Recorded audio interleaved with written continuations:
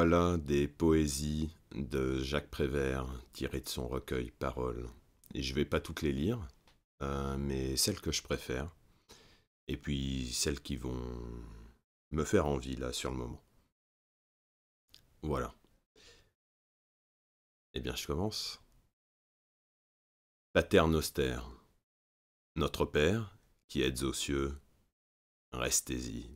Et nous, nous resterons sur la terre, qui est quelquefois si jolie, avec ses mystères de New York et puis ses mystères de Paris, qui valent bien celui de la Trinité.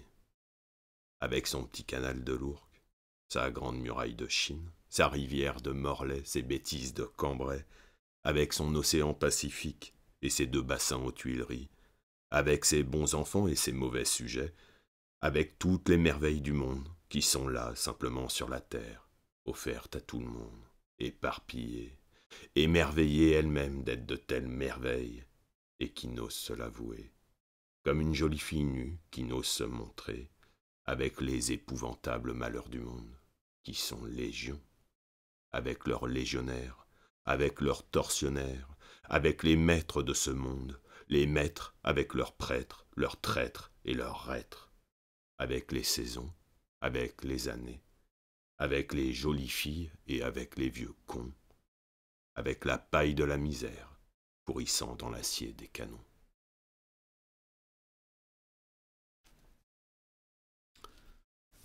Ensuite, j'en ai vu plusieurs.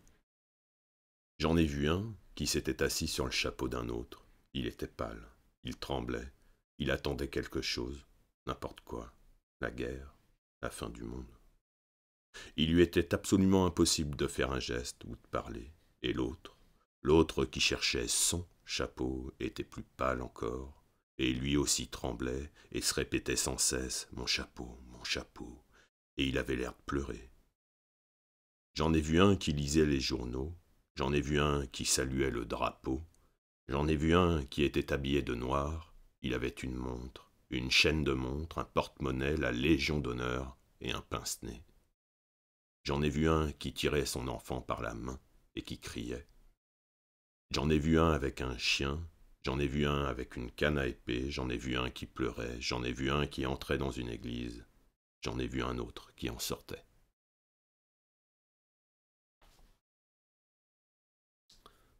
Allez, à la pêche au poème. Rue de Seine. Rue de Seine, dix heures et demie le soir, au coin d'une autre rue. Un homme titube, un homme jeune, avec un chapeau, un imperméable. Une femme le secoue. Elle le secoue et elle lui parle. Et il secoue la tête. Son chapeau est tout de travers, et le chapeau de la femme s'apprête à tomber en arrière. Ils sont très pâles tous les deux. L'homme certainement a envie de partir, de disparaître, de mourir. Mais la femme a une furieuse envie de vivre. Et sa voix, sa voix qui chuchote, on ne peut pas ne pas l'entendre. C'est une plainte, un ordre, un cri, tellement avide cette voix, et triste et vivante. Un nouveau-né malade qui grelotte sur une tombe dans un cimetière l'hiver, le cri d'un être les doigts pris dans la portière, une chanson, une phrase, toujours la même, une phrase répétée, sans arrêt, sans réponse. L'homme la regarde, ses yeux tournent, il fait des gestes avec les bras comme un noyé, et la phrase revient. Rue de Seine au coin d'une autre rue, la femme continue, sans se lasser, continue sa question inquiète, plaît impossible à penser. Pierre, dis-moi la vérité. Pierre, dis-moi la vérité. Je veux tout savoir. Dis-moi la vérité. Le chapeau de la femme tombe. Pierre, je veux tout savoir. Dis-moi la vérité. Question stupide et grandiose. Pierre ne sait que répondre. Il est perdu. Celui qui s'appelle Pierre, il a un sourire que peut-être il voudrait tendre et répète Voyons, calme-toi, tu es folle. Mais il ne croit pas si bien dire. Mais il ne voit pas. Il ne peut pas voir comment Sa bouche d'homme est tordue par son sourire. Il étouffe. Le monde se couche sur lui et l'étouffe. Il est prisonnier, coincé par ses promesses. On lui demande des comptes en face de lui, une machine à compter, une machine à écrire des lettres d'amour, une machine à souffrir. Le saisit, s'accroche à lui. Pierre, dis-moi la vérité.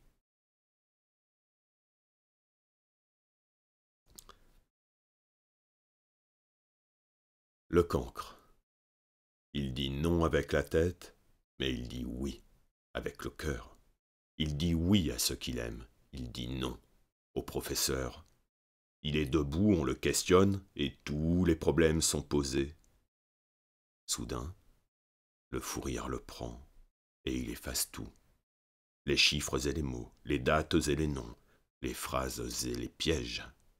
Et malgré les menaces du maître, sous les huées des enfants prodiges, avec des craies de toutes les couleurs, sur le tableau noir du malheur, il dessine le visage du bonheur.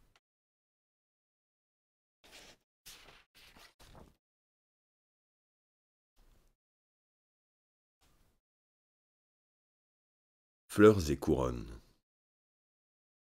Homme, tu as regardé la plus triste, la plus morne de toutes les fleurs de la terre. Et comme aux autres fleurs, tu lui as donné un nom, tu l'as appelé pensée. Pensée. C'était comme on dit bien observé, bien pensé. Et ces sales fleurs, qui ne vivent ni ne se fanent jamais, tu les as appelées immortelles. C'était bien fait pour elles. Mais le lilas, tu l'as appelé lilas. Lilas, c'était tout à fait ça. Lilas, lilas. Aux marguerites, tu as donné un nom de femme, ou bien aux femmes, tu as donné un nom de fleur, c'est pareil. L'essentiel, c'était que ce soit joli, que ça fasse plaisir.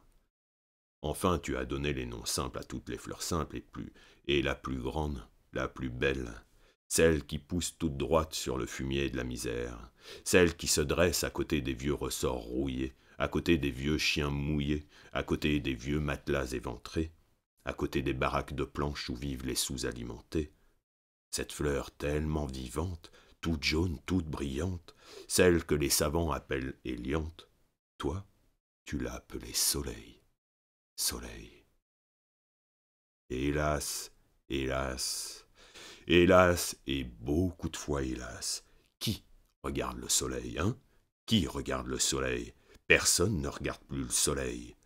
Les hommes sont devenus ce qu'ils sont devenus, des hommes intelligents une fleur cancéreuse, tubéreuse et méticuleuse à leur boutonnière. Ils se promènent en regardant par terre, et ils pensent au ciel. Ils pensent, ils pensent. Ils n'arrêtent pas de penser.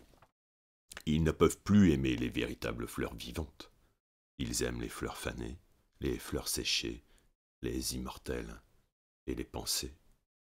Ils se traînent et il marche dans la boue des souvenirs, dans la boue des regrets. Il se traîne, à grand-peine, dans les marécages du passé.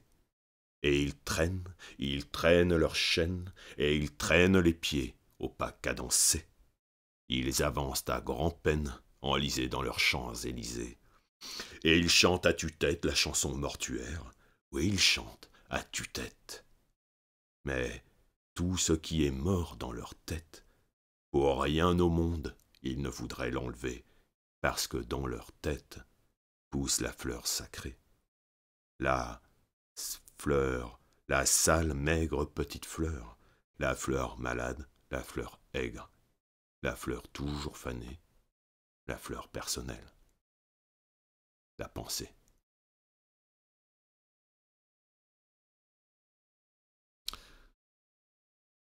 Le retour au pays.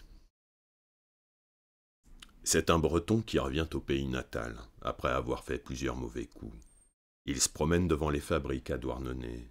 Il ne reconnaît personne, personne ne le reconnaît. Il est très triste. Il entre dans une crêperie pour manger des crêpes, mais il ne peut pas en manger. Il a quelque chose qui les empêche de passer. Il paye, il sort, il allume une cigarette, mais il ne peut pas la fumer. Il y a quelque chose quelque chose dans sa tête, quelque chose de mauvais. Il est de plus en plus triste, et soudain, il se met à se souvenir. Quelqu'un lui a dit quand il était petit, tu finiras sur l'échafaud. Et pendant des années, il n'a jamais, jamais osé rien faire, pas même traverser la rue, pas même partir sur la mer. Rien, absolument rien. Il se souvient. Celui qui avait tout prédit, c'est l'oncle Grésillard, l'oncle Grésillard qui portait malheur à tout le monde, la vache.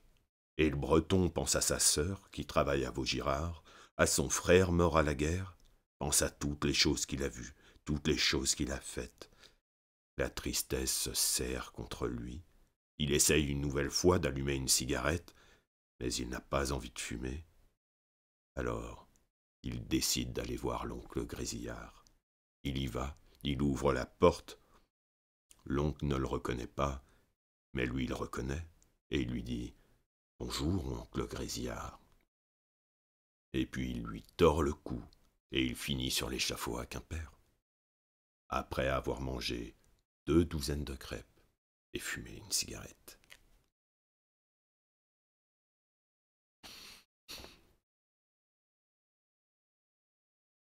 Ah, le concert n'a pas été réussi.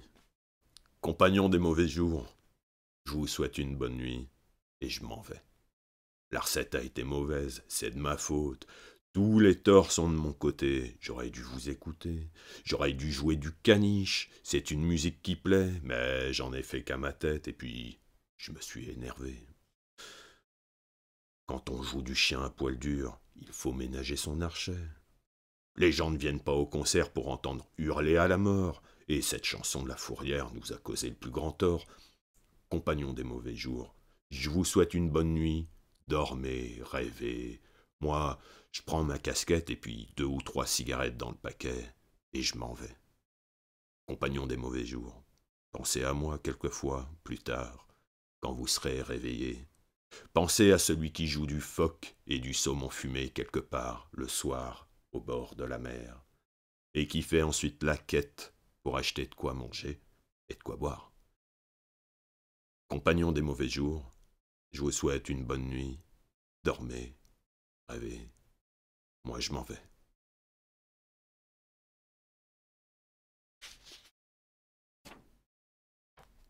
Hmm, non.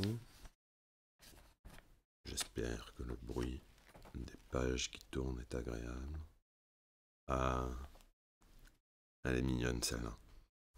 Chanson des escargots qui vont, qui vont à l'enterrement. À l'enterrement d'une feuille morte, deux escargots s'en vont. Ils ont la coquille noire, du crêpe autour des cornes. Ils s'en vont dans le noir un très beau soir d'automne. Hélas, quand ils arrivent, c'est déjà le printemps. Les feuilles qui étaient mortes sont toutes ressuscitées, et les deux escargots sont très désappointés. Mais voilà le soleil, le soleil qui leur dit Prenez, prenez la peine, la peine de vous asseoir, prenez un verre de bière, si le cœur vous en dit. Prenez, si ça vous plaît, l'autocar pour Paris, il partira ce soir, vous verrez du pays. Mais ne prenez pas le deuil, c'est moi qui vous le dis, ça noircit le blanc de l'œil, et puis ça en dit. Les histoires de cercueil, c'est triste et pas joli. Reprenez vos couleurs, les couleurs de la vie.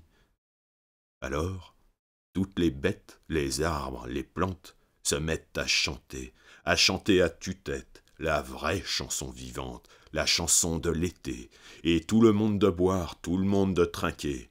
C'est un très joli soir, un joli soir d'été, et les deux escargots s'en retournent chez eux, et ils s'en vont très émus, ils s'en vont très heureux. Comme ils ont beaucoup bu, ils titubent un petit peu, mais là-haut dans le ciel, la lune veille sur eux.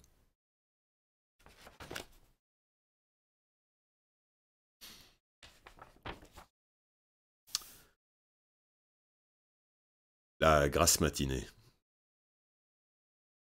Il est terrible, le petit bruit de l'œuf dur, cassé sur un comptoir d'étain. Il est terrible ce bruit, quand il remue dans la mémoire de l'homme qui a faim.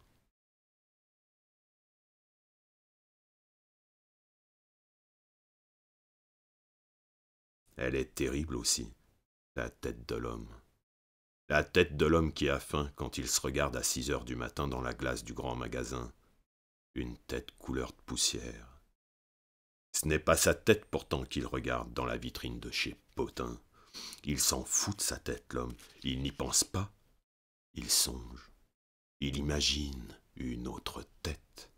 Une tête de veau, par exemple, avec une sauce de vinaigre, ou une tête de n'importe quoi qui se mange. Et il remue doucement la mâchoire, doucement. Et il grince des dents doucement, car le monde se paye sa tête. Et il ne peut rien contre ce monde. Et il compte sur ses doigts. Un, deux, trois. Un, deux, trois. Ça fait trois jours qu'il n'a pas mangé, et il a beau se répéter depuis trois jours, ça ne peut pas durer. Ça dure. Trois jours, trois nuits, sans manger. Et derrière ces vitres, ces pâtés, ces bouteilles, ces conserves, poissons morts protégés par les boîtes, boîtes protégées par les vitres, vitres protégées par les flics, flics protégés par la crainte. Que de barricades pour six malheureuses sardines. Un peu plus loin, le bistrot, café crème et croissant chaud. L'homme titube, et dans l'intérieur de sa tête, un brouillard de mots, un brouillard de mots. Sardines à manger, œufs durs, café crème, café arrosé rhum, café crème, café crème, café crime, arrosé sang. Un homme très estimé dans son quartier a été égorgé en plein jour. L'assassin, le vagabond, lui a volé deux francs, soit un café arrosé, zéro francs soixante-dix, deux tartines beurrées et vingt-cinq centimes pour pourboire du garçon. Il est terrible, le petit bruit de l'œuf dur. Cassé sur un comptoir d'étain, il est terrible ce bruit, quand il remue dans la mémoire de l'homme qui a faim.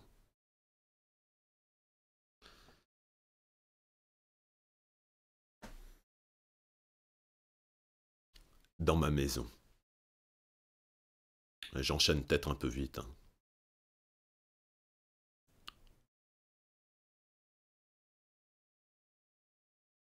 Dans ma maison. Dans ma maison, vous viendrez. D'ailleurs, ce n'est pas ma maison. Je ne sais pas qui elle est. Je suis entré comme ça un jour. Il n'y avait personne. Seulement des piments rouges accrochés au mur blanc.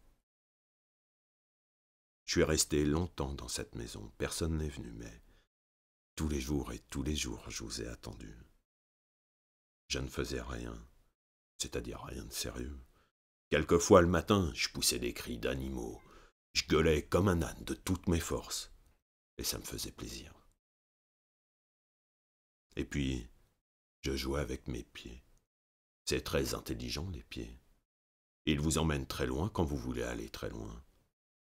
Et puis, quand vous ne voudrez pas sortir, ils restent là. Ils vous tiennent compagnie. Et quand il y a de la musique, ils dansent. On ne peut pas danser sans eux. Il faut être bête comme l'homme l'est si souvent pour dire des choses, des choses aussi bêtes que bêtes, comme ses pieds, gais comme un pinson. Le pinson n'est pas gai, il est seulement gai quand il est gai, et triste quand il est triste, ou ni gai ni triste. Est-ce qu'on sait ce que c'est un pinson? D'ailleurs, il ne s'appelle pas réellement comme ça, c'est l'homme qui a appelé cet oiseau comme ça. Pinson, pinson, pinson, pinson.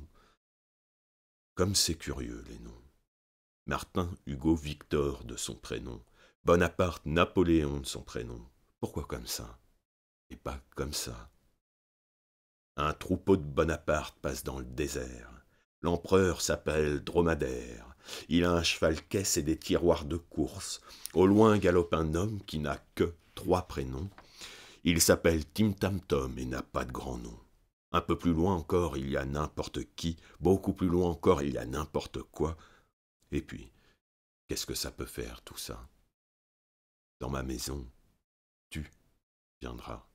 Je pense à autre chose, mais je ne pense qu'à ça.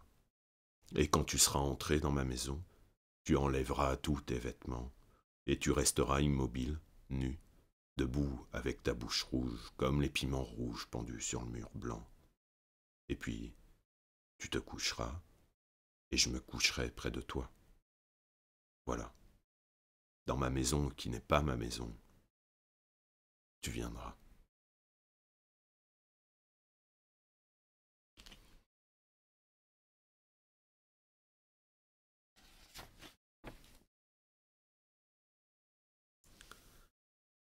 La chasse à l'enfant. Bandits, voyous, voleurs, chenapans. Au-dessus de l'île, on voit des oiseaux. Tout autour de l'île, il y a de l'eau. Bandits, voyous, voleurs, chenapans. Qu'est-ce que c'est que ces hurlements, bandits, voyous, voleurs, chenapans? C'est la meute des honnêtes gens qui fait la chasse à l'enfant.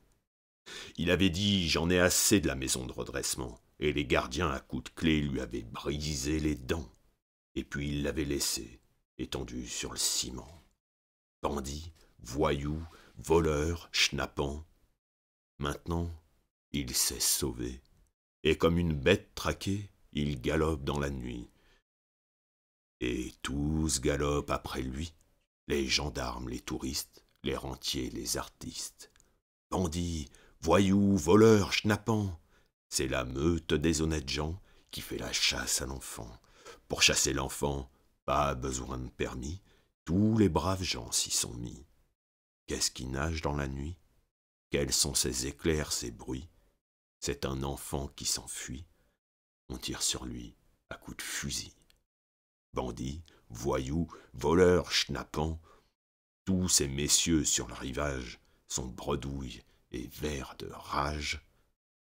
Bandit, voyou, voleur, schnappant, rejoindras-tu le continent? Rejoindras-tu le continent? Au-dessus de l'île, on voit des oiseaux tout autour de l'île. Il y a de l'eau.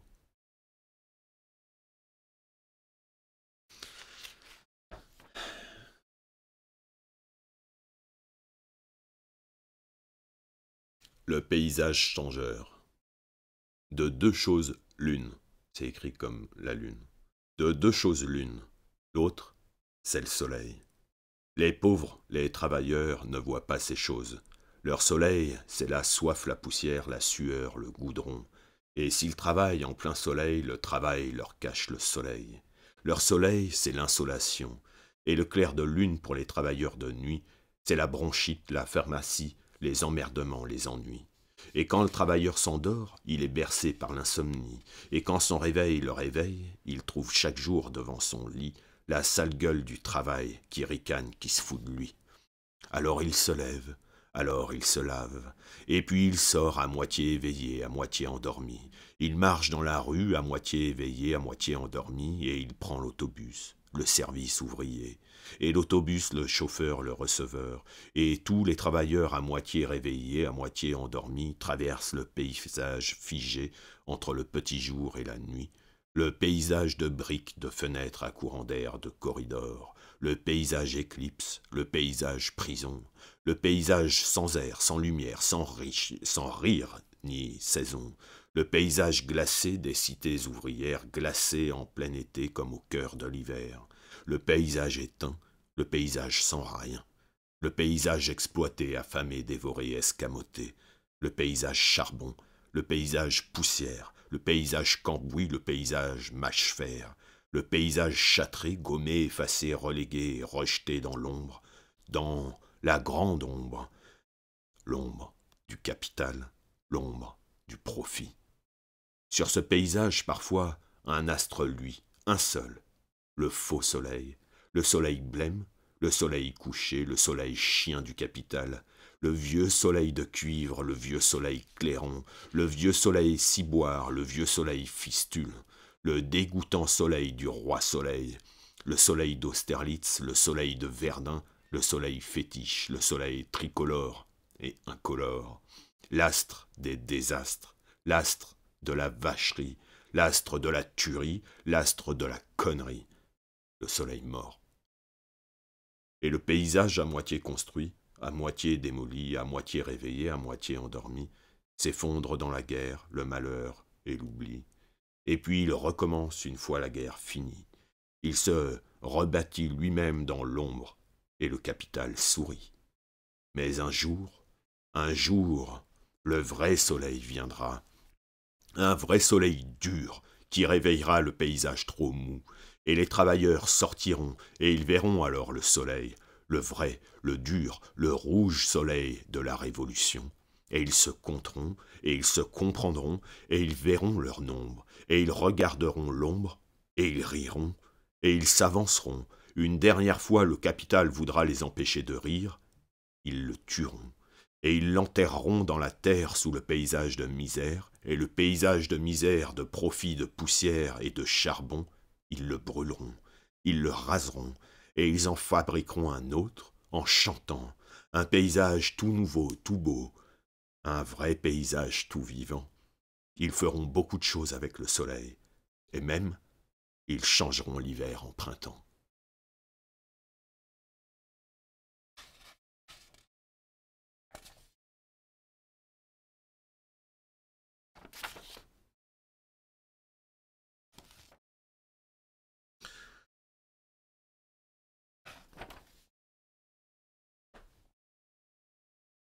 Je suis comme je suis. Je suis comme je suis, je suis faite comme ça.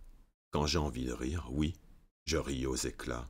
J'aime celui qui m'aime, est-ce ma faute à moi si ce n'est pas le même que j'aime à chaque fois? Je suis comme je suis, je suis faite comme ça. Que voulez-vous de plus? Que voulez-vous de moi? Je suis faite pour plaire, et n'y puis rien changer. Mes talons sont trop hauts ma taille trop cambrée, mes seins beaucoup trop durs et mes yeux trop cernés. Et puis après, qu'est-ce que ça peut vous faire? Je suis comme je suis, je plais à qui je plais. Qu'est-ce que ça peut vous faire ce qui m'est arrivé? Oui, j'ai aimé quelqu'un, oui, quelqu'un m'a aimé, comme les enfants qui s'aiment, simplement savent aimer. Aimer. Aimer. Pourquoi me questionner? Je suis là pour vous plaire, et n'y puis rien changer.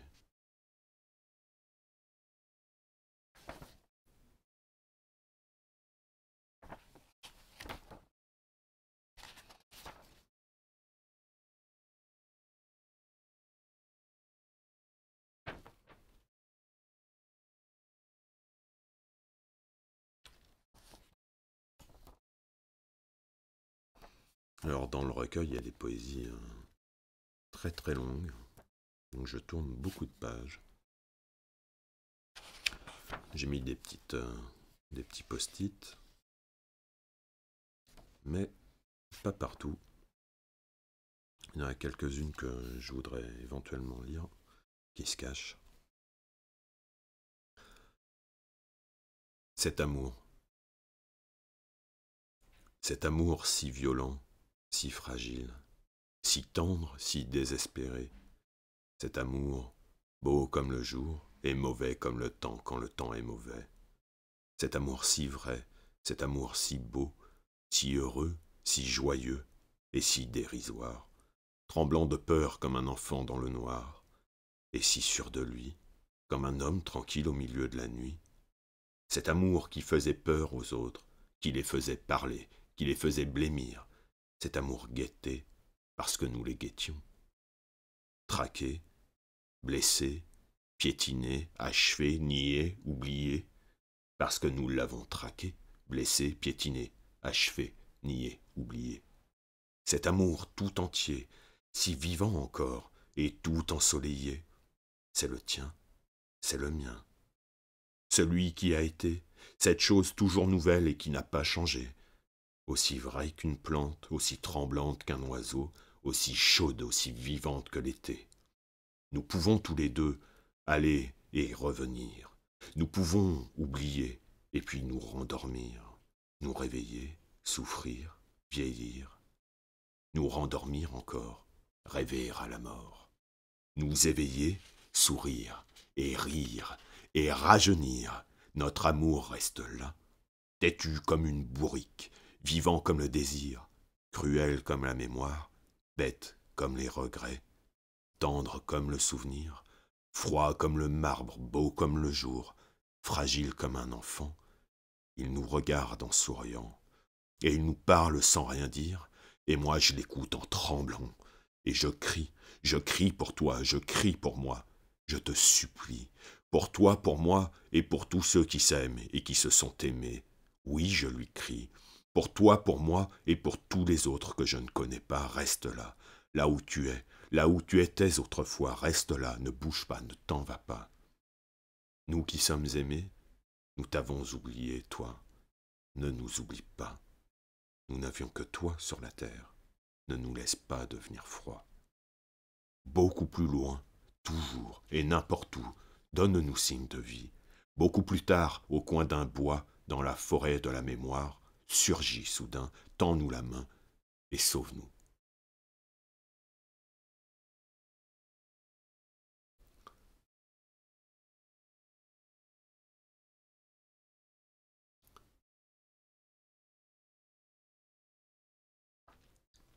La vôtre.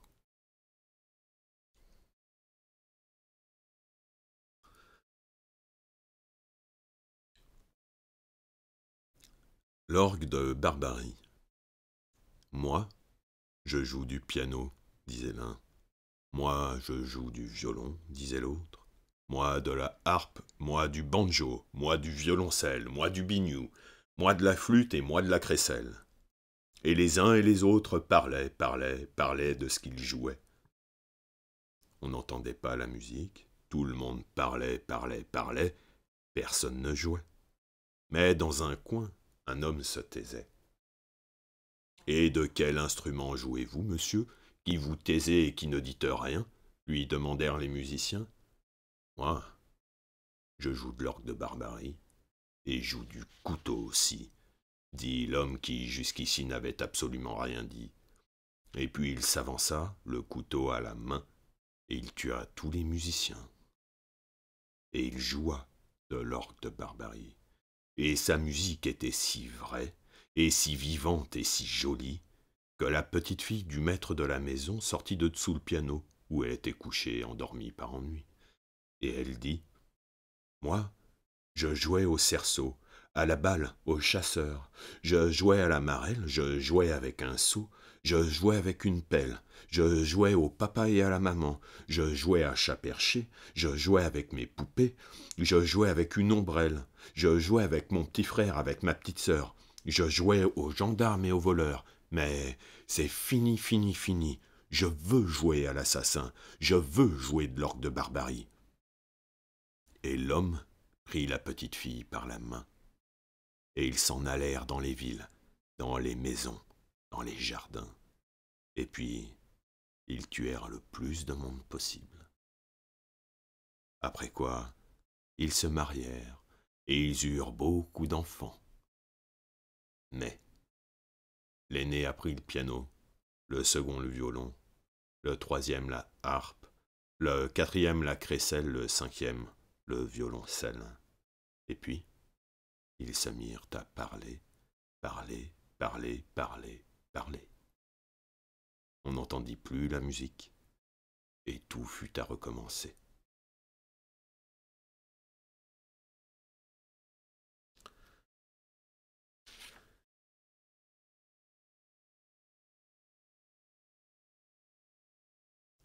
Page d'écriture. 2 et 2, 4. 4 et 4, 8. 8 et 8 font 16. Répétez, dit le maître. 2 et 2, 4, 4 et 4, 8, 8 et 8 font 16. Mais voilà l'oiseau lyre qui passe dans le ciel. L'enfant le voit, l'enfant l'entend, l'enfant l'appelle. Sauve-moi, joue avec moi, oiseau. Alors l'oiseau descend et joue avec l'enfant. Deux et deux, quatre. Répétez, dit le maître. Et l'enfant joue, l'enfant joue avec lui. 4 et 4, 8. 8 et 8 font 16, et 16 et 16, qu'est-ce qu'ils font? Ils ne font rien, 16 et 16, et surtout pas 32 de toute façon, et ils s'en vont. Et l'enfant a caché l'oiseau dans son pupitre, et tous les enfants entendent sa chanson, et tous les enfants entendent la musique, et 8 et 8 à leur tour s'en vont, et 4 et 4 et 2 et 2 à leur tour fichent le camp, et 1 et 1 ne font ni une ni deux, 1 à 1 s'en vont également. Et l'oiseau lyre, joue, et l'enfant chante, et le professeur crie Quand vous aurez fini de faire le pitre! Mais tous les autres enfants écoutent la musique et les murs de la classe s'écroulent tranquillement, et les vitres redeviennent sable, l'encre redevient eau, les pupitres redeviennent arbres, la craie redevient falaise, le porte-plume redevient oiseau.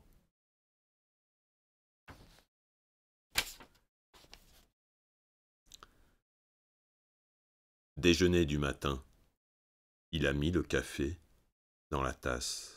Il a mis le lait dans la tasse de café. Il a mis le sucre dans le café au lait. Avec la petite cuillère, il a tourné. Il a bu le café au lait et il a reposé la tasse sans me parler. Il a allumé une cigarette. Il a fait des ronds avec la fumée. Il a mis les cendres dans le cendrier sans me parler, sans me regarder. Il s'est levé. Il a mis son chapeau sur sa tête il a mis son manteau de pluie parce qu'il pleuvait, et il est parti sous la pluie, sans une parole, sans me regarder, et moi j'ai pris ma tête dans ma main, et j'ai pleuré.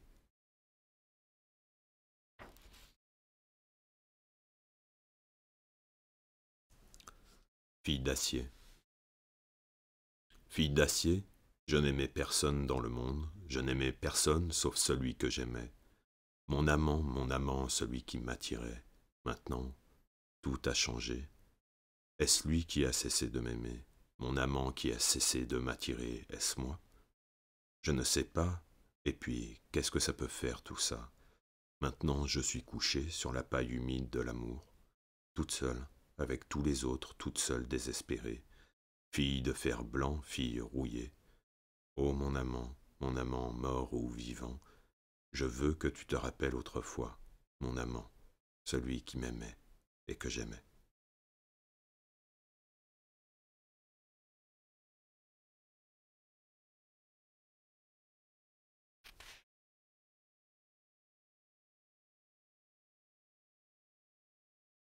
Les oiseaux du, souci. Pluie de plumes, plume de pluie, celle qui vous aimait n'est plus. Que me voulez-vous, oiseau?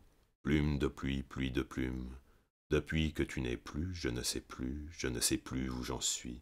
Pluie de plume, plume de pluie, je ne sais plus que faire. Suaire de pluie, pluie de suie. Est-ce possible que jamais plus plume de suie?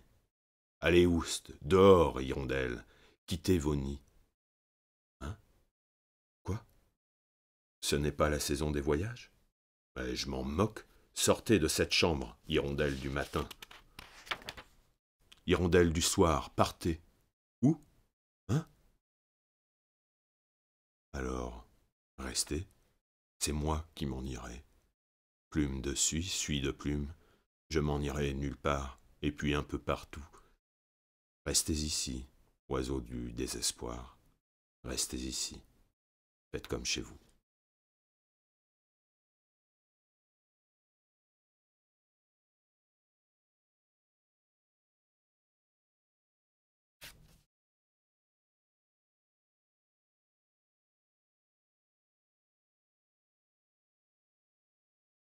Et oui, pour faire le portrait d'un oiseau. Pour faire le portrait d'un oiseau. Peindre d'abord une cage avec une porte ouverte. Peindre ensuite quelque chose de joli, quelque chose de simple, quelque chose de beau, quelque chose d'utile pour l'oiseau. Placer ensuite la toile contre un arbre, dans un jardin, dans un bois ou dans une forêt, se cacher derrière l'arbre sans rien dire, sans bouger. Parfois, l'oiseau arrive vite, mais il peut aussi bien mettre de longues années avant de se décider. Ne pas se décourager, attendre. Attendre s'il le faut pendant des années. La vitesse ou la lenteur de l'arrivée de l'oiseau n'ayant aucun rapport avec la réussite du tableau. Quand l'oiseau arrive, s'il arrive, observez le plus profond silence. Attendre que l'oiseau entre dans la cage et quand il est entré, fermez doucement la porte avec le pinceau. Puis, effacez un à un tous les barreaux, en ayant soin de ne toucher aucune des plumes de l'oiseau. Faire ensuite le portrait de l'arbre, en choisissant la plus belle de ses branches pour l'oiseau. peindre aussi le vert feuillage et la fraîcheur du vent, la poussière du soleil et le bruit des bêtes dans l'herbe dans la chaleur de l'été, et puis attendre que l'oiseau se décide à chanter. Si l'oiseau ne chante pas, c'est mauvais signe, signe que le tableau est mauvais. Mais s'il chante, c'est bon signe, signe que vous pouvez signer. Alors, vous arrachez tout doucement une des plumes de l'oiseau, et vous écrivez votre nom dans un coin du tableau.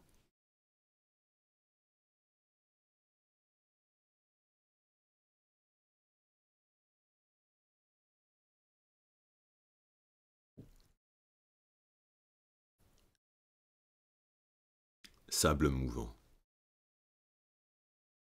Des monts et merveilles, vents et marées, au loin déjà la mer s'est retirée, et toi, comme une algue doucement caressée par le vent, dans les sables du lit, tu remues en rêvant. Des monts et merveilles, vents et marées, au loin déjà la mer s'est retirée, mais dans tes yeux entr'ouverts, deux petites vagues sont restées, des monts et merveilles, vents et marées, deux petites vagues pour me noyer.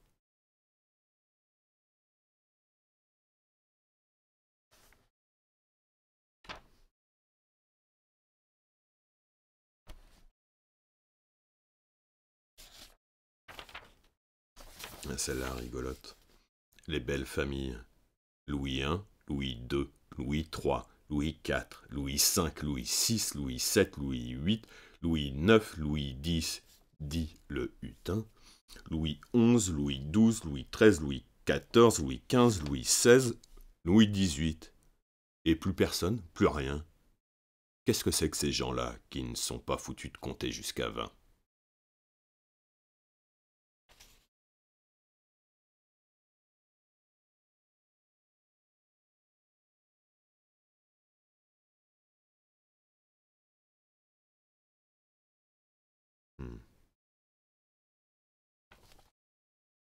Le miroir brisé. Le petit homme qui chantait sans cesse, le petit homme qui dansait dans ma tête, le petit homme de la jeunesse, a cassé son lacet de soulier, et toutes les baraques de la fête tout d'un coup se sont écroulées, et dans le silence de cette fête, dans le désert de cette tête, j'ai entendu ta voix heureuse, ta voix déchirée et fragile, enfantine et désolée, venant de loin et qui m'appelait, et j'ai mis ma main sur mon cœur, où remuait ensanglanté les sept éclats de glace de ton rire étoilé.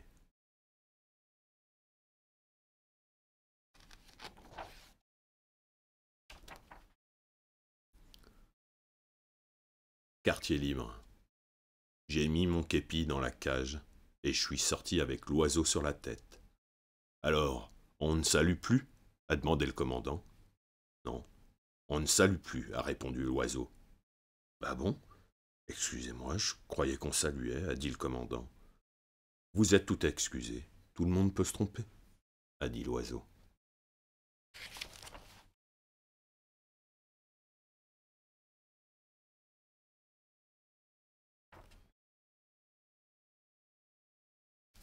Au hasard des oiseaux. J'ai appris très tard à aimer les oiseaux. Je le regrette un peu. Mais maintenant tout est arrangé. On s'est compris. Ils ne s'occupent pas de moi. Je ne m'occupe pas d'eux.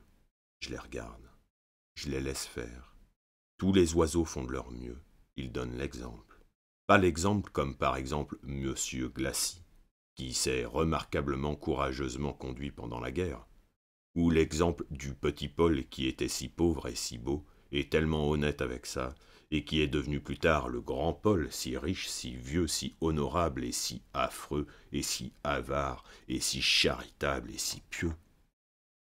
Ou par exemple cette vieille servante qui eut une vie et une mort exemplaires, jamais de discussion, pas ça, l'ongle claquant sur la dent, pas ça de discussion avec monsieur ou avec madame au sujet de cette affreuse question des salaires, non.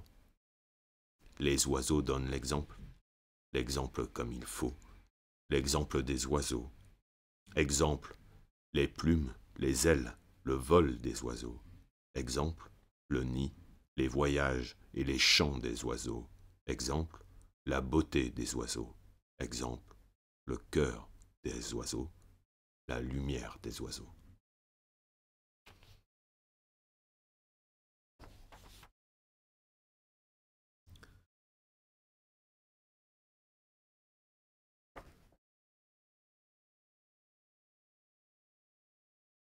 Chanson du geôlier.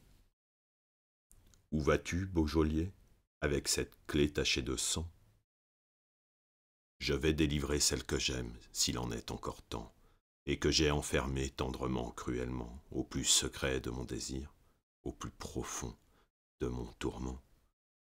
Dans les mensonges de l'avenir, dans les bêtises des serments, je veux la délivrer, je veux qu'elle soit libre, et même de m'oublier, et même de s'en aller, et même de revenir et encore de m'aimer, ou d'en aimer un autre, si un autre lui plaît. Et si je reste seul, et elle en allait, je garderai seulement, je garderai toujours, dans mes deux mains en creux, jusqu'à la fin des jours, la douceur de ses seins, modelée par l'amour.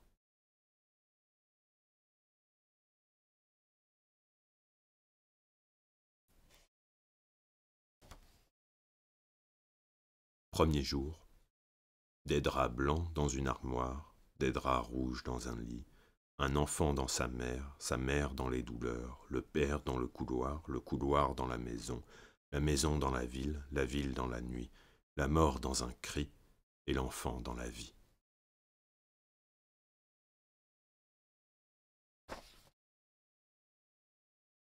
Chez la fleuriste. Un homme entre chez une fleuriste et choisit des fleurs. La fleuriste enveloppe les fleurs. L'homme met la main à sa poche pour chercher l'argent, l'argent pour payer les fleurs. Mais il met en même temps, subitement, la main sur son cœur et il tombe. En même temps qu'il tombe, l'argent roule à terre, et puis les fleurs tombent en même temps que l'homme, en même temps que l'argent. Et la fleuriste reste là, avec l'argent qui roule, avec les fleurs qui s'abîment, avec l'homme qui meurt. Évidemment, tout cela est très triste et il faut bien qu'elle fasse quelque chose, la fleuriste. Mais elle ne sait pas comment s'y prendre, elle ne sait pas par quel bout commencer. Il y a tant de choses à faire, avec cet homme qui meurt, ces fleurs qui s'abîment, et cet argent, cet argent qui roule, qui n'arrête pas de rouler.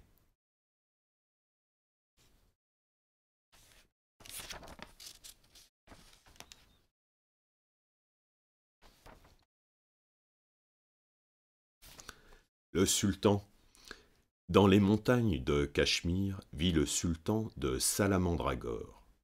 Le jour, il fait tuer un tas et quand vient le soir, il s'endort. Mais dans ses cauchemars, les morts se cachent et le dévorent. Alors une nuit, il se réveille, en poussant un grand cri, et le bourreau, tiré de son sommeil, arrive souriant au pied du lit. S'il n'y avait pas de vivant, dit le sultan, il n'y aurait pas de mort. Et le bourreau, le bourreau répond d'accord tout le reste y passe alors, et qu'on n'en parle plus. D'accord, dit le bourreau, c'est tout ce qu'il sait dire. Et tout le reste y passe, comme le sultan l'a dit, les femmes, les enfants, les siens, et ceux des autres, le veau, le loup, la guêpe, et la douce brebis, son bon, le bon vieillard intègre, et le sobre chameau, les actrices des théâtres, le roi des animaux, les planteurs de bananes, les faiseurs de bons mots, et les coqs et leurs poules, les œufs avec leurs coqs, et personne ne reste pour enterrer qui compte. Comme ça, ça, ça va, dit le sultan de Salamandragore. Mais reste là, bourreau, là tout près de moi, et tue-moi, si jamais je me rendors.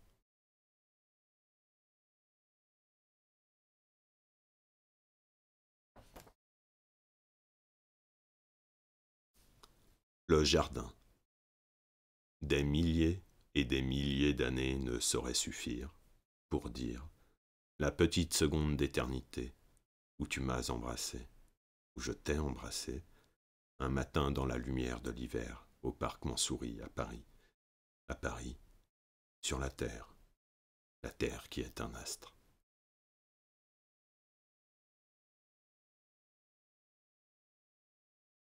Paris at night, trois allumettes une à une allumées dans la nuit, la première pour voir ton visage tout entier, la seconde pour voir tes yeux, la dernière pour voir ta bouche, et l'obscurité tout entière, pour me rappeler tout cela en te serrant dans mes bras.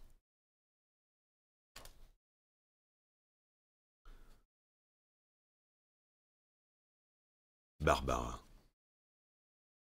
Rappelle-toi, Barbara, il pleuvait sans cesse sur Brest ce jour-là, et tu marchais souriante, épanouie, ravie, ruisselante, sous la pluie.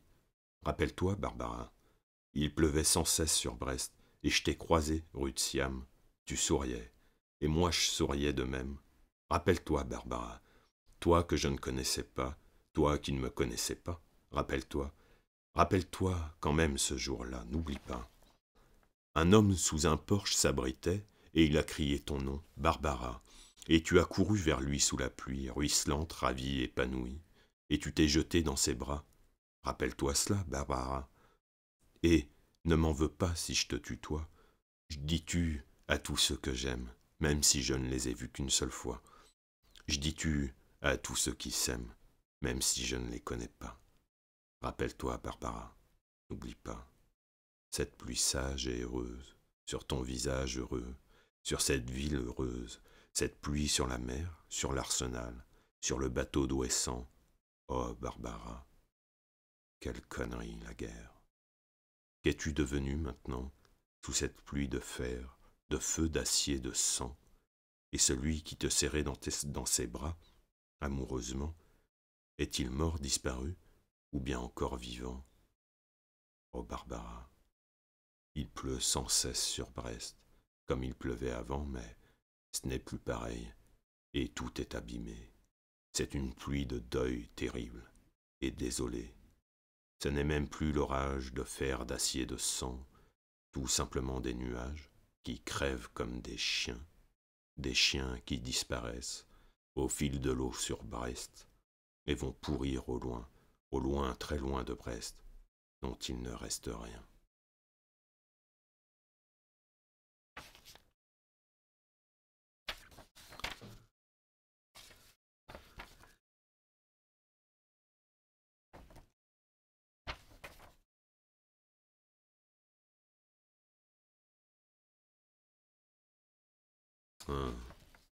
Il ne faut pas. Il ne faut pas laisser les intellectuels jouer avec les allumettes.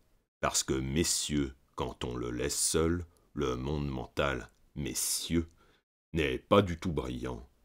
Et sitôt qu'il est seul, travaille arbitrairement, s'érigeant pour soi-même, et soi-disant généreusement en l'honneur des travailleurs du bâtiment, un auto-monument. Répétons-le, messieurs, quand on le laisse seul, le monde mental ment. Monumentalement.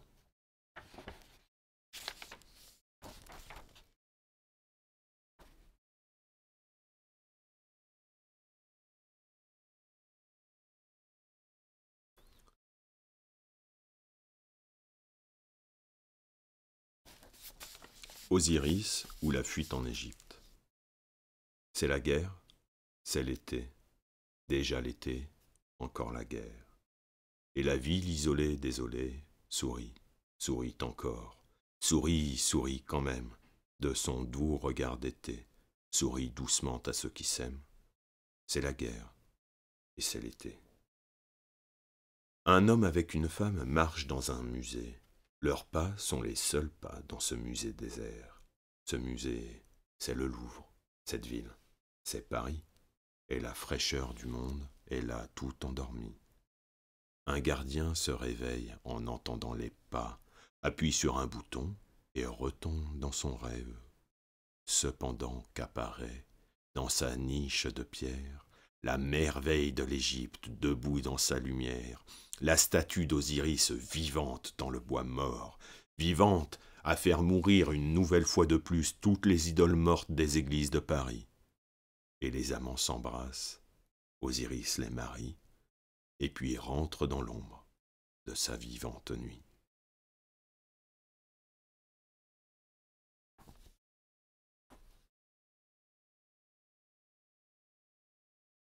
Allez, je crois que je vais terminer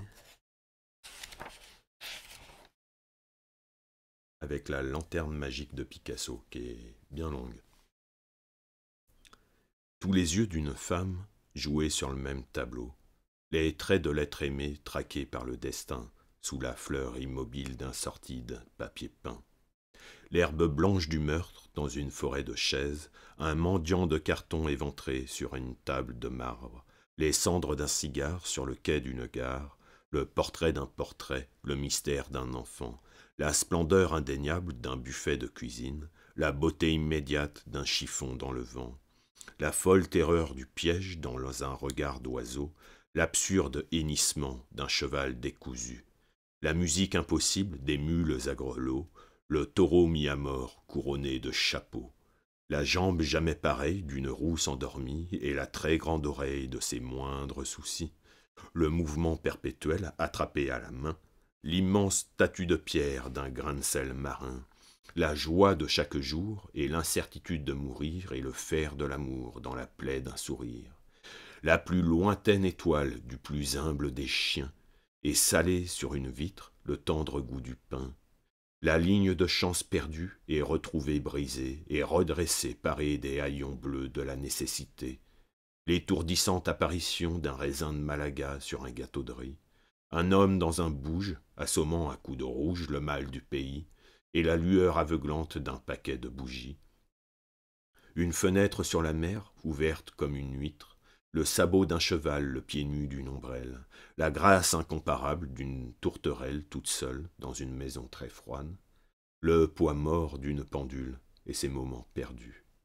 Le soleil somnambule qui réveille en sursaut au milieu de la nuit la beauté somnolente et soudain ébloui jette sur ses épaules le manteau de la cheminée et l'entraîne avec lui dans le noir de fumée, de fumée masquée, de blanc d'Espagne et vêtu de papier collé. Et tant de choses encore. Une guitare de bois vert berçant l'enfance de l'art, un ticket de chemin de fer avec tous ses bagages, la main qui, dépayse, qui dépayse un visage qui dévisage un paysage, l'écureuil caressant d'une fille neuve et nue, splendide, souriante, heureuse et impudique, surgissant à l'improviste d'un casier à bouteilles ou d'un casier à musique comme une panoplie de plantes vertes vivaces et phalliques, surgissante elle aussi à l'improviste du tronc pourrissant d'un palmier académique nostalgique et désespérément vieux beau comme l'antique. Et les cloches à melon du matin brisées par le cri d'un journal du soir, les terrifiantes pinces d'un crabe émergeant des dessous d'un panier, la dernière fleur d'un arbre avec les deux gouttes d'eau du condamné, et la mariée trop belle seule et abandonnée sur le divan cramoisi de la jalousie par la blême frayeur de ses premiers maris. Et puis dans un jardin d'hiver, sur le dossier d'un trône, une chatte en émoi et la moustache de sa queue sous les narines d'un roi. La chaux vive d'un regard dans le visage de pierre d'une vieille femme assise près d'un panier d'osier, et crispé sur le minium tout frais du garde-fou d'un phare tout blanc, les deux mains bleues de froid d'un arlequin errant qui regarde la mer et ses grands chevaux dormant dans le soleil couchant, et puis qui se réveille, les naseaux écumants, les yeux phosphorescents affolés par la lueur du phare et ses épouvantables feux tournants, et l'alouette toute rôtie dans la bouche d'un mendiant, une jeune infirme folle dans un jardin public, qui, souriant d'un sourire déchiré, mécanique, et berçant dans ses bras un enfant léthargique, trace dans la poussière de son pied sale et nu la silhouette du père et ses profils perdus, et présente aux passants son nouveau-né en loques, Regardez donc mon beau, regardez donc ma belle, ma merveille des merveilles, mon enfant naturel. D'un côté c'est un garçon, et de l'autre c'est une fille. Tous les matins il pleure, mais tous les soirs je la console, et je les remonte comme une pendule.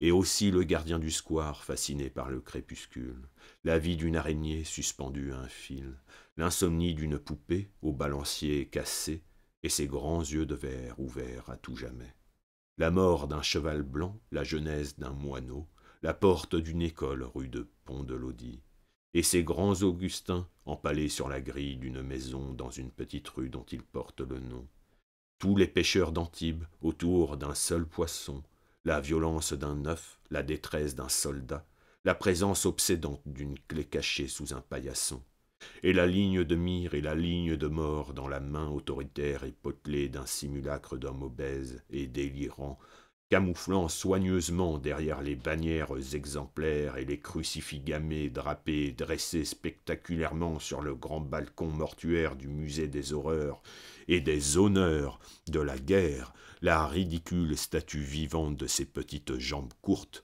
et de son buste long, mais ne parvenant pas, malgré son bon sourire de caudillo grandiose et magnanime, à cacher les irrémédiables et pitoyables signes de la peur, de l'ennui, de la haine et de la connerie gravés sur son masque de viande fauve et blême, comme les graffitis obscènes de la, mégalomanie gravée par les lamentables tortionnaires de l'ordre nouveau dans les urinoirs de la nuit. Et derrière lui, dans le charnier d'une valise diplomatique entr'ouverte, le cadavre tout simple d'un paysan, pauvre, assailli dans son champ à coups de lingots d'or par d'impeccables hommes d'argent. Et tout à côté, sur une table, une grenade ouverte, avec toute une ville dedans. Et toute la douleur de cette ville, rasée et saignée à blanc, et toute la garde civile caracolant tout autour d'une civière, où rêve encore un gitan mort, et toute la colère d'un peuple amoureux, travailleur insouciant, charmant, qui soudain éclate brusquement, comme le cri rouge d'un coq égorgé publiquement. Et le spectre solaire des hommes au bas salaire, qui surgit tout sanglant des sanglantes entrailles d'une maison ouvrière, tenant à bout de bras la pauvre lueur de la misère, la lampe sanglante de Guernica, et découvre au grand jour de sa lumière crue et vraie les épouvantables fausses teintes d'un monde décoloré, usé jusqu'à la corde, vidé jusqu'à la moelle, d'un monde mort sur pied, d'un monde condamné et déjà oublié, noyé, carbonisé, au mille feux de l'eau courante du ruisseau populaire, où le sang populaire court inlassablement, intarissablement, dans les artères et dans les veines de la terre, et dans les artères et dans les veines de ses véritables enfants, et le visage de n'importe lequel de ces enfants dessiné simplement sur une feuille de papier blanc, le visage d'André Breton, le visage de Paul Éluard, le visage d'un chartier aperçu dans la rue, la lueur du clin d'œil d'un marchand de mourons, le sourire épanoui d'un sculpteur de marron, et sculpté dans le plâtre un mouton de plâtre frisé bêlant de vérité dans la main d'un berger de plâtre debout près d'un fer à repasser. À côté d'une boîte à cigares vide, à côté d'un crayon oublié, à côté des métamorphoses d'Ovide, à côté d'un lacet de souliers, à côté d'un fauteuil aux jambes coupées par la fatigue des années, à côté d'un bouton de porte, à côté d'une nature morte où les rêves enfantins d'une femme de ménage agonisent sur la pierre froide d'un évier, comme des poissons suffocants et crevant sur des galets brûlants et la maison remuée de fond en comble par les pauvres cris de poissons morts de la femme de ménage désespérée tout à coup qui fait naufrage soulevé par les lames de fond du parquet et va s'échouer lamentablement sur les bords de la Seine dans les jardins du Vert-Galant. Et là, désemparée, elle s'assoit sur un banc et elle fait ses comptes. Et elle ne se voit pas blanche pourrie par les souvenirs et fauchée comme les blés. Une seule pièce lui reste une chambre à coucher. Et comme elle va la jouer à pile ou face, avec le vain espoir de gagner un peu de temps, un grand orage éclate dans la glace à trois faces, avec toutes les flammes de la joie de vivre, tous les éclairs de la chaleur animale, toutes les lueurs de la bonne humeur, et donnant le coup de grâce à la maison désorientée, incendie les rideaux de la chambre à coucher, et roulant en boule de feu les draps au pied du lit, découvre en souriant devant le monde entier le puzzle de l'amour, avec tous ses morceaux. Tous ces morceaux choisis, choisis par Picasso. Un amant sa maîtresse et ses jambes à son cou, et les yeux sur les fesses, les mains un peu partout, les pieds levés au ciel et les seins sans dessus-dessous, les deux corps enlacés, échangés, caressés, l'amour décapité, délivré et ravi, la tête abandonnée, abandonnée, roulant sur le tapis, les idées délaissées, oubliées, égarées, mises hors d'état de nuire par la joie et le plaisir, les idées en colère bafouées par l'amour en couleur, les idées terrées et atterrées comme les pauvres rats de la mort sentant venir le bouleversant naufrage de l'amour, les idées remises à leur place à la porte de la chambre à côté du pain, à côté des souliers, les idées calcinées, escamotées, volatilisées, désidéalisées, les idées pétrifiées devant la merveilleuse indifférence d'un monde passionné, d'un monde retrouvé, d'un monde indiscutable et inexpliqué, d'un monde sans savoir vivre, mais plein de joie de vivre, d'un monde sobre et ivre, d'un monde triste et gai, tendre et cruel, réel et surréel, terrifiant et marrant, nocturne et diurne, solide et insolite, beau comme tout.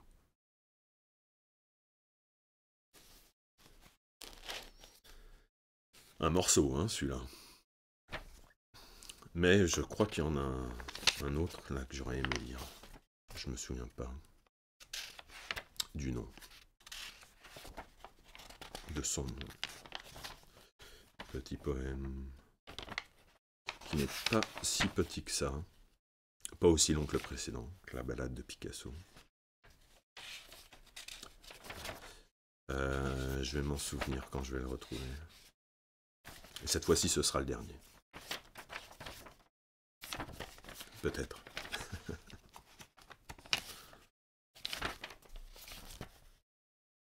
oui, non. Euh, allez, l'avant-dernier. Les grandes inventions.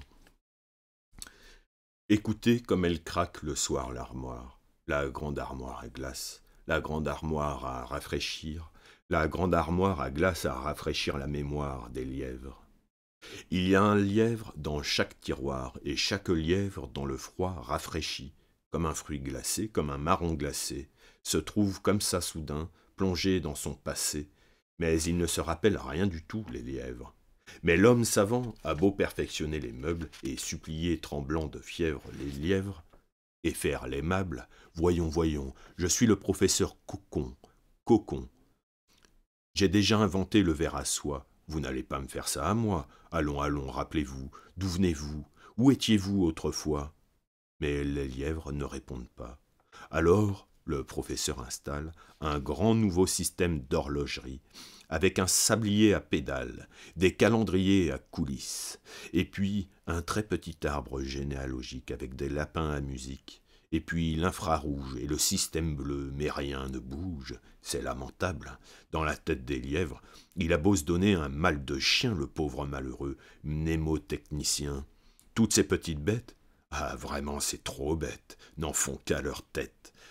Alors, il tourne autour des meubles, la tête dans ses mains, et il pleure, et il pleure. Soudain, il sent ses mains mouillées par les pleurs. Tiens, et voilà que je pleure maintenant. Hélas, c'est la grande pitié des armoires à lièvres de France. Oh, lièvre, vous n'allez tout de même pas laisser pleurer un professeur. Allons, faites un petit effort. Lièvre, souvenez-vous, descendez-vous du singe ou bien du kangourou? Lièvre, ne voyez-vous pas comme je suis malheureux? Voyons, faites un tout petit effort. Ce n'est tout de même pas une affaire que de se rappeler, puisque tout le monde le fait. Lièvre, je vous en prie, souvenez-vous du jour, du fameux jour où la tortue est arrivée avant vous. Mais du tiroir aux lièvres, aucune réponse ne vient. Triste petits ingrats et sales petits vauriens, pense le professeur. Et il s'assoit par terre, la tête euh, dans les deux mains. Ah vraiment, il y a des soirs comme cela où l'on se demande si la Terre tourne bien, et pourtant elle tourne, et Dieu la fait tourner, c'est un fait. Dieu est bon, et il fait bien ce qu'il fait, c'est ce sale petit monde de lièvres qui est mauvais. Et voilà ce bon professeur qui rêve d'une machine à perfectionner le civet. Mais tout de même, il se secoue, il lutte contre le, contre le découragement. Il se répète dans son petit soi-même, en avant, en avant, en avant, en avant, et il refait ses calculs. Il vérifie la preuve par l'œuf, et toutes les preuves qu'il faut, et ses calculs sont justes et sans aucun défaut. Soudain, il sursaute, et l'inquiétude s'installe dans sa tête, et la sueur froide. Mais alors, si mes calculs sont justes, c'est sûrement mes lièvres qui sont faux. Il se précipite vers l'armoire, mais la glace est fondue, parce que c'est le printemps. Tous, comme un seul homme, les lièvres ont fichu le camp. Ne vous désolez pas, professeur, les lièvres s'en vont, mais les tiroirs restent. C'est la vie.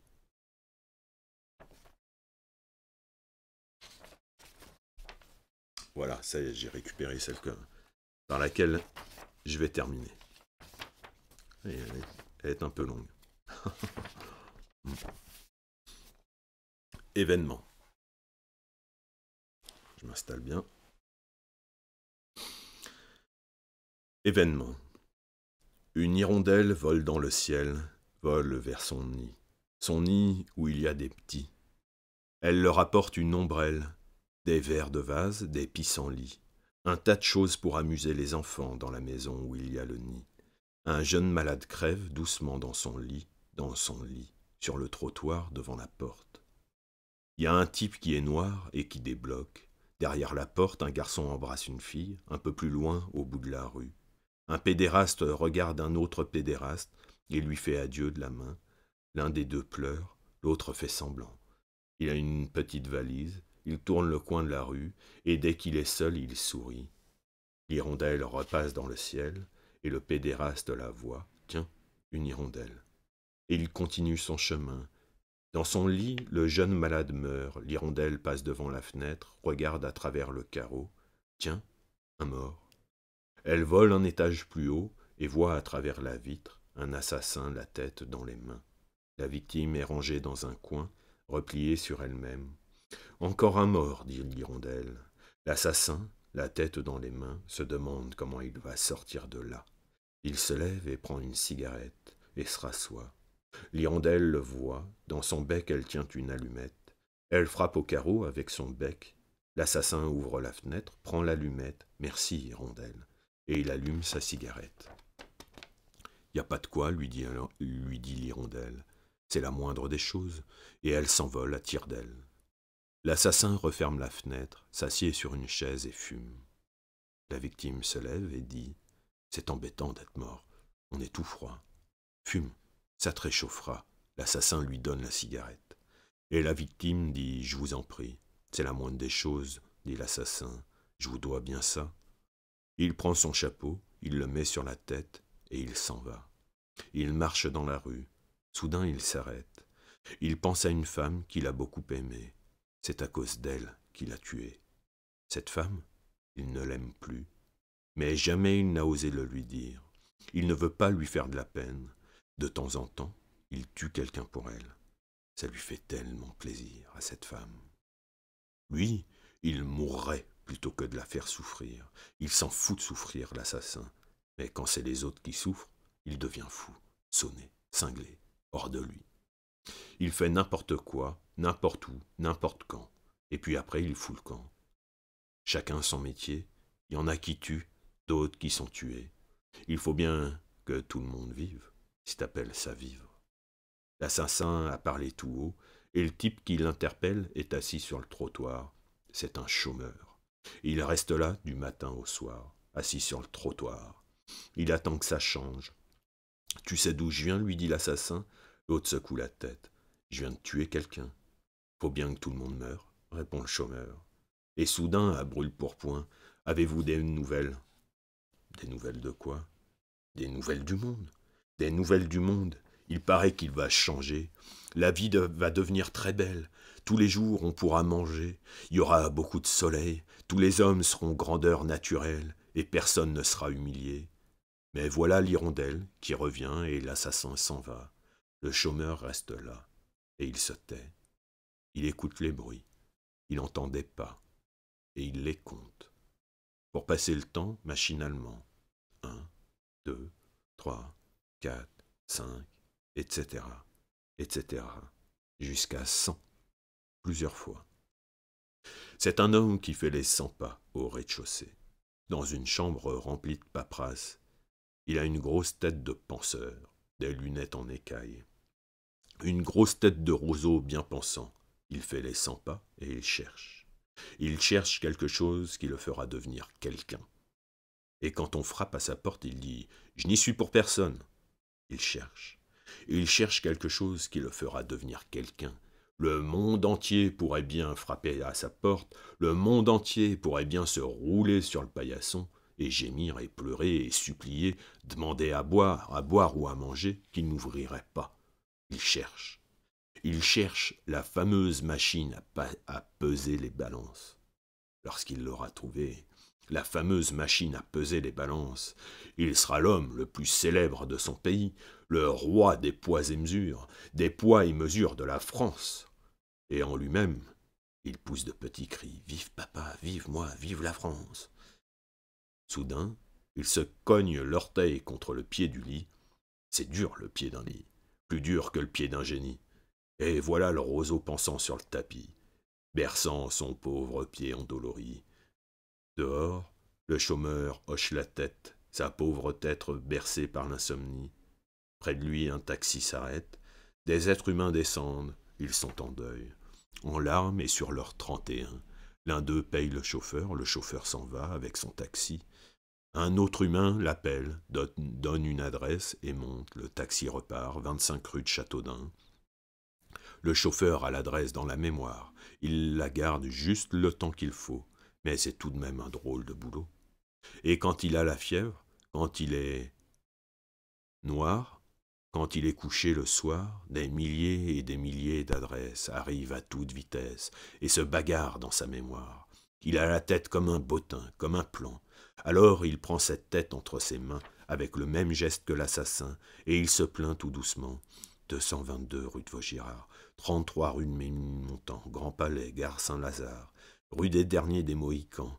C'est fou ce que l'homme invente pour abîmer l'homme. Et comme tout ça se passe tranquillement, L'homme croit vivre, et pourtant il est déjà presque mort, et depuis très longtemps.